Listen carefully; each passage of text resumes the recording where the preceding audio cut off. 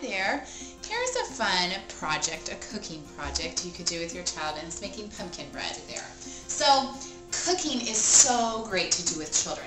Yeah, it's a mess. Kids are going to make a mess. The flour is going to go all over the place. Just be ready for that. You're talking about numbers, and you're talking about math, and measuring, ingredients, and they're getting their hands dirty with different things they may have not experienced, and different smells and tastes they're really using their five senses. Put on an apron. Get an apron, you know, get an apron for your child. You can make an apron together. I got this one at a craft store. And then you can paint them together or you could paint one and then have a special place for that apron, maybe where yours are. And in a low place where your child can just go and hang it up or they can take it off the hook and put it on too.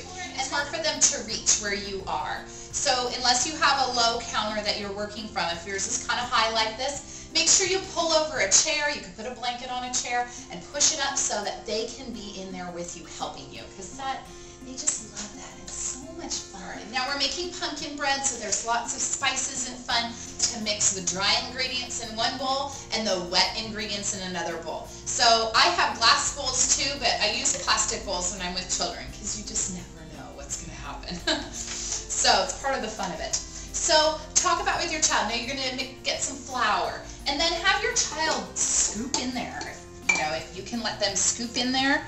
And, and here's one cup. So it's one and three quarters. Talk about that with your child. We're going to get one and three quarters cup of flour.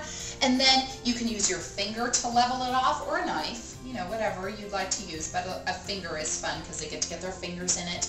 And then they're going to pour it in the bowl. And now, of course, when kids pour things in a bowl, sometimes you go all over the place. And I just say, just get it in the bowl the best you can do. It's all got to get in there. So then the next thing you know, you, uh, baking soda and salt and all those things are dry. And then we're going to push that aside and then we're going to get all the wet ingredients out and what those are. So, so this um, recipe calls for pumpkin. So you can just buy a can of pumpkin.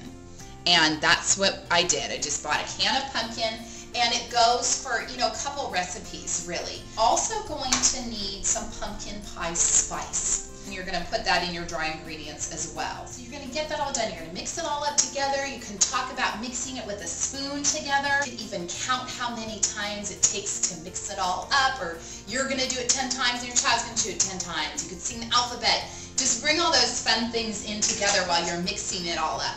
Okay, and then what we did at school actually is we made this pumpkin um, bread and then we put it in four of these small containers. Use a bigger loaf pan, 40 minutes to an hour to cook it. And then you have this beautiful pumpkin